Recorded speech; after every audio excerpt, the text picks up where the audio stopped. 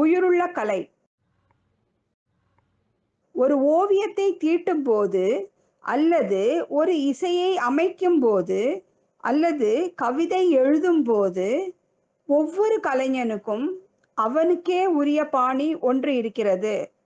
ஒவ்வொரு ஓவியனுக்கும் சங்கீத வித்வானுக்கும் இசை கலைஞனுக்கும் கவிஞனுக்கும் சிற்பிக்கும் அவனுக்கே உரிய தனி முறையில் இறைவனுடன் தொடர்பு இருக்கும் இருக்க வேண்டும்.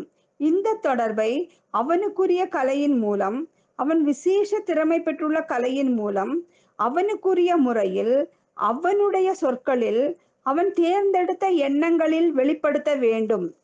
இயற்கையின் வெளி உருவை அப்படியே நகல் செய்யாமல் அவ்வுருவங்கள் ஒரு உண்மையை குறிப்பாக பின்னால் ஆழ்ந்துள்ள உண்மையுடன் தனக்குள்ள உறவினை மறைக்கின்றன என்று கொண்டு அவ்வுருவங்களை அவை மறைத்து கொண்டிருக்கும் உண்மையை வெளிப்படுத்தும்படி செய்ய அவன் முயல்கிறான். தான் பார்ப்பதை அப்படியே போலி செய்யாமல் அவற்றின் பின்னால் உள்ளதை அவை பேசும்படி செய்ய முயல்கிறான். இதுவே ஒரு உயிருள்ள கலைக்கும் எவ்வித சுவையும் இல்லாதபடி இயற்கையை அப்படியே நகல் செய்வதற்கும் உள்ள வேறுபாடு.